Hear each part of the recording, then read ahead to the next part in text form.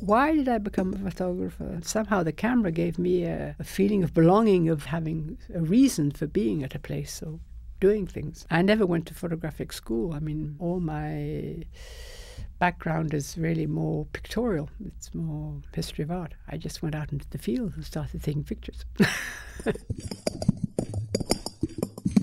you know, I think the one thing I enjoy in, in photography is meeting people. I love to take portraits, and I usually try and choose my own subjects because I like to photograph people that I admire.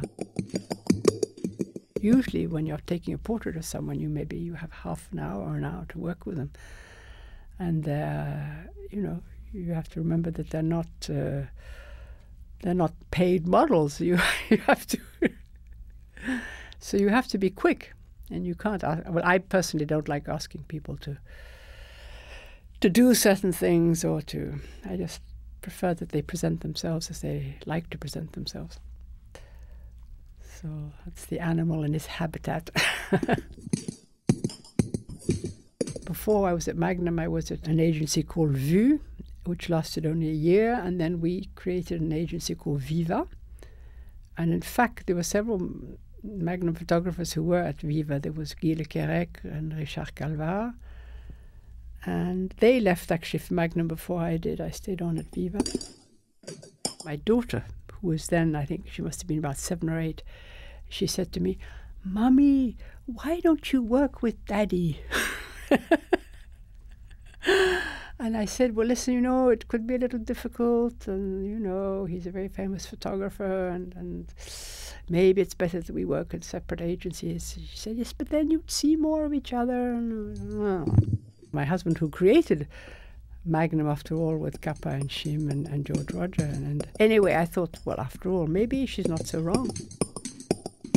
When I first arrived in Magnum, Eve was one of the, yeah, I think she was the first woman that, that I that I met in, within Magnum, and I always remember her telling me, Martine, there's one thing you must never do, and that is tell your age, because after a certain age, no one will give you any work.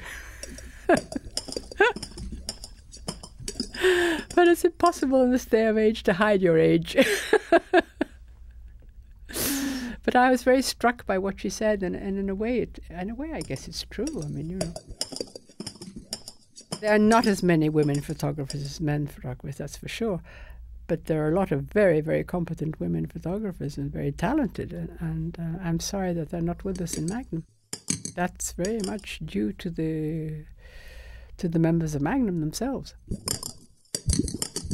women do apply at Magnum, but uh, if they're working with the press, they somehow always get put down by the men photographers. They don't. They say they're impossible to work with, or they're, you know, they're not good on the field. I just hope that there'll be more applications from women, but they they're a bit discouraged because they know how difficult it is to get into Magnum. But I think it's up to us to to encourage them and, and to maybe do a little bit more lobbying before the, before the actual meetings take place. You know, when I started out taking photographs, I was I was very shy as a young woman, and somehow the camera gave me a reason to to go places, to talk to people. I, I felt much more secure having a camera because it was a way of communicating.